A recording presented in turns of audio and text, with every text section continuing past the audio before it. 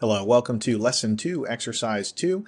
Uh, here in the main method, we want to ask the user to separately input three grades from zero to 100. So these are typical grades on an exam. Um, since these grades, uh, since these are grades, they should be stored as double values because they have a decimal point.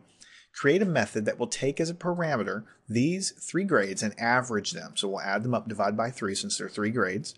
The method then returns the answer to the main method and the answer is displayed to the user. So basically we're creating a program to average grades, but we're compartmentalizing the function of actually doing the averaging off into its own method to keep the code cleaner and more organized. So here we're importing the scanner class. Uh, here we are creating a scanner object like we always do. We're calling it input. Uh, and now we're creating some variables. We're calling them doubles because grades have decimal points grade 1, grade 2, grade 3. I've just assigned a number 1.0 to them um, just to initialize them. And then I have the final answer, which will be called the average. I'm also just initializing it. So basically, I'm just declaring a bunch of variables here and putting dummy numbers in there. Uh, there. Then what we want to do is output to the screen, enter grade 1, and then this line here is going to read that, that decimal that you type in from the keyboard and store it into grade 1. So this is the scanner uh, object we've created.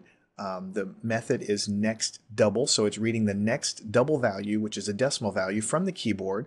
This entire thing is reading the keyboard decimal value and storing it into grade number one. We do the same thing again, enter grade number two, and we'll store the next double from the keyboard into grade number two. And then we'll do the third and final time for the third grade, and then we'll store from the keyboard the next double value waiting to be read, and we'll store that into grade number three. All right, so we've stored all three grades from the, from the keyboard into the variables. And now what we have to do is actually do the averaging. So what we do is we call a method that we're calling average AVG, average grades. That's the name of my method. It's descriptive. It's basically saying we're going to average some grades. And we will pass to it the three grades that we've just stored, which are double values. Passing to it the numbers that are stored in grade 1, grade 2, and grade 3. So this particular method takes three parameters here uh, double values. And presumably what we want to do is average these guys and this method will return an answer, right, which will be stored in our final answer here. So you can think of this over here as just basically passing it the three grades, getting a result, we're going to store that over here. And then we just print out the answer. Uh, average of these grades is average. And that's the end of the main method. So let's look at what this method that we created looks like. It's very simple. Public static, again, don't worry about those. We'll talk about those a little bit later. But notice that uh, sometimes we use void if we're not returning an actual value. Uh, the previous example, we used integer because it was returning an integer. Here we're calculating something with a decimal, so we're returning a double. The name of the method is here, matches exactly what we have up here, and it takes as arguments three double values. Here we're passing grade 1, grade 2, and grade 3. Those are the numbers we've read in from the keyboard, but when we define our function, we have to tell the function or tell Java what do we expect to get and pass into this function. We expect to receive three values. Each of them are going to be a double. Now I've renamed them A, B, and C just to kind of lessen confusion. If you uh, you know you want to generally use different variable names than what you have in other functions to keep things straight. But essentially what's happening is you're passing the the value into here. And so now grade 1 will be stored into the variable called a inside of this method.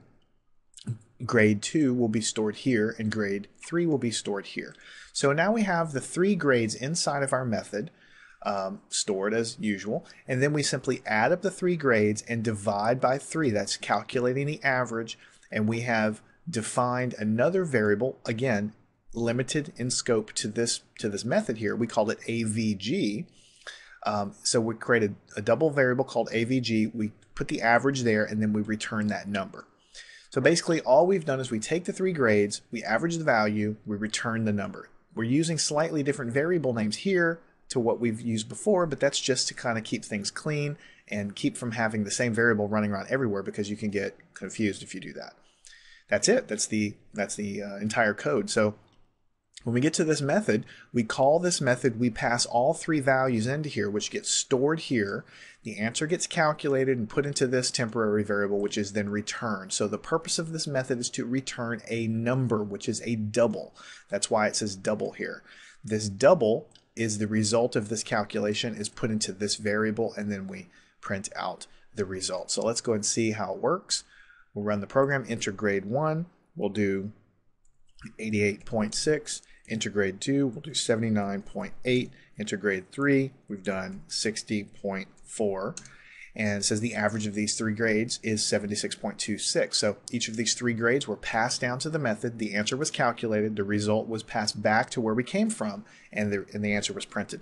Now I've checked all of this um, myself to make sure that the method works right manually with a calculator. It seems to work just fine. You can kind of see that 76.2 is, is kind of in the middle of these three values, and you can actually do another test case to check it a little bit further if you want to do something really easy if you have a grade of 40, averaged with another grade of 40, averaged with a third grade of 40, the answer that you should get is 40. If you have three of the same number, you should get an average number that matches. So it's nice to put test cases in that you that you can uh, quickly verify that your code is working right. So again, your code might look different. That's fine. But the gist of this example was to get you to read numbers from the keyboard, pass the three values as doubles down to your method, calculate the answer, return a double back, um, just getting practice with compartmentalizing your code inside of these, these methods here.